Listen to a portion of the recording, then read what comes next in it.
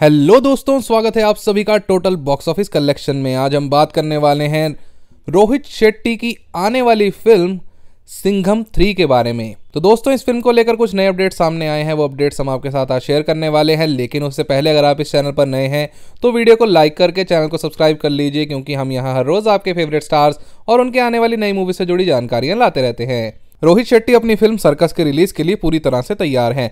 इसके बाद वो फ़िल्म सिंगम थ्री या फ़िल्म सिंगम अगेन की शूटिंग की तैयारी करेंगे।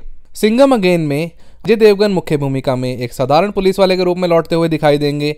इस बारे में बात करते हुए रोहित ने अपने हाल ही के एक इंटरव्यू में खुलासा करते हुए कहा कि वो फ़िल्म पर काम शुरू करने के लिए काफ़ी ज़्यादा एक्साइटेड है, क्योंकि उनका कहना है कि स्क्रिप्ट बहुत ही अच्छी बनी है।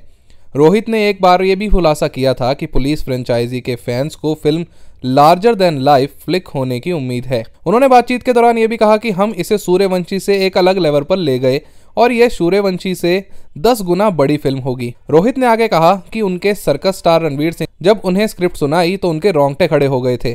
फ़िल्म में अपने चरित्र सिम्बा के रूप में अभिनेता की वापसी की पुष्टि करते हुए उन्होंने ये भी दावा किया कि पुलिस एक्शन फ्लिक आपको एक बेस्ट देगी।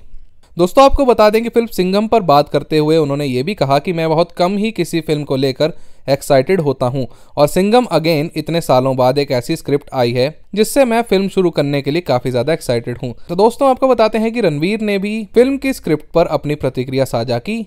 और कहा कि फैंस को आगे देखने के लिए बहुत कुछ है। उन्होंने इसके लिए निर्देशक की सराहना करते हुए कहा कि फ़िल्म सिनेमा हॉल में तहलका मचाने के लिए बिल्कुल तैयार है।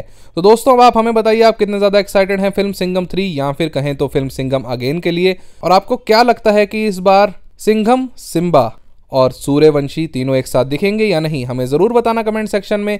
और ऐसी ही वीडियोस के लिए हमारे channel total box office collection को सब्सक्राइब करना बिल्कुल मत भूलिए।